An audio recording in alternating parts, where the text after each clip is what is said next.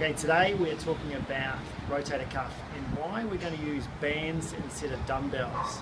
Most physios and most rehab we use bands, as in TheraBands. Now, usually it used to be bands like the wide bands. We like using tubing, so this is a lot better resistance than the band I feel, and they last a lot longer.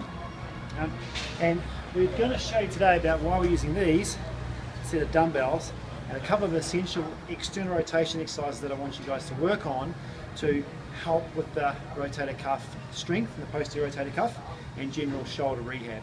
So why do we use bands? Well, with a dumbbell, like I see people doing rotator cuff work like this. Now, the problem with that is, yes, you're externally rotating, you're using your external rotators, but the weight is going vertical, okay?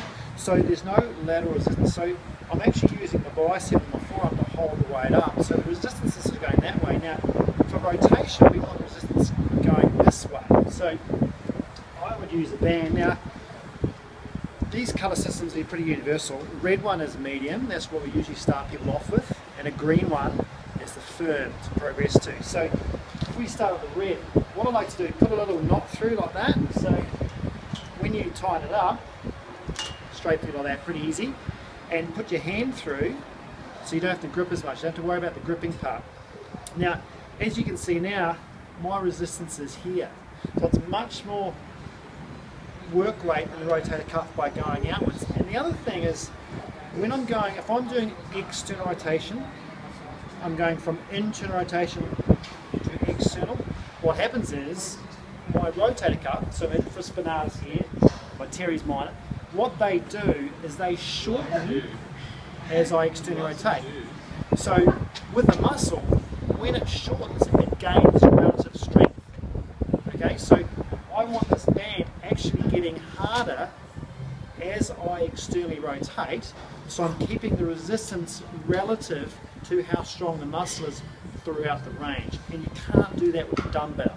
Okay? And the same thing is when you're on your side and you're doing this sort of sorry, this sort of thing with a dumbbell, okay, yes there's gravity, but there's no real change in resistance with the dumbbells. That's why I just get rid of dumbbells for rehab completely and work on bands. So what are you going to be thinking? When I'm externally rotating, the band is tightening and therefore I'm providing an even resistance throughout the range is what we want. Alright? Now, a couple of tricks with external rotation. You've got to make sure that you don't cheat by having your elbow close to your side. So don't lock your elbow in and try and do this. You've got to have your elbow a little bit away from your body. The other thing you've got to do is make sure is you don't have your elbow too far forward and your shoulder can't be too far forward. Okay, so if I'm here, my shoulder's got to be neutral, not pulled all the way back, just to neutral.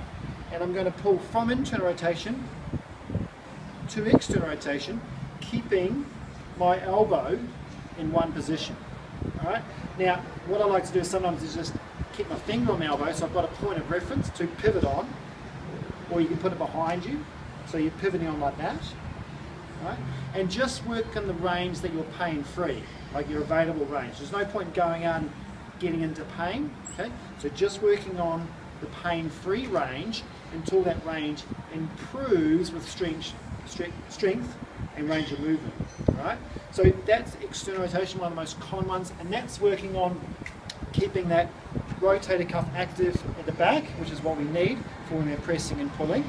Um, to advance zero, what we call zero degrees, okay, or neutral external rotation, what we do is 45 degrees, and you'll see that on the program.